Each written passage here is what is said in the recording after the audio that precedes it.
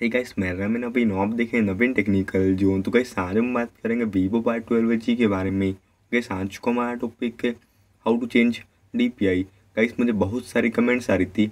इस वीक यार हमारे फ़ोन पर हम कैसे अपने फ़ोन के डी पी आई चेंज करें इसी तरीके से। तो यह टॉपिक के बारे में कुछ बताइए तो मैं सोचा इस टॉपिक पर एक वीडियो बना देता हूँ। तो गाइस वीडियो को आखिरी देखिए एंड समझिए। एंड अभी तक आपने हमारे चैनल को सब्सक्राइब नहीं किए हैं तो प्लीज़ सब्सक्राइब कर लीजिएगा। तो गाइज़ बिना में बस करें, यह वीडियो स्टार्ट करते। तो आप अपने फ़ोन में देखिए सिंपली करेगा। डिफ़ॉल्ट सेटिंग्स ओपन कर लीजिएगा।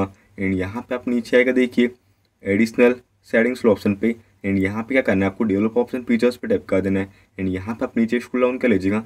यहाँ पे आप आएगा, देखिए स्मॉलेस्ट विद ऑप्शन पे देखिए, हमारे फ़ोन में डी पी चल रही थ्री फोर्टी एंड यहाँ पे क्या करेगा? आप थ्री सिक्सटी करके राइट निशान पर टैप कर दीजिएगा तो आपके फ़ोन में डी पी चेंज हो जाएँगे। तो इस टाइप से देखिए, आप अपने फ़ोन में डी पी चेंज कर पाते इसी तरीके से। तो कैसे ये था आज को हमारा टॉपिक उम्मीद है गैस आपको वीडियो पसंद होगी।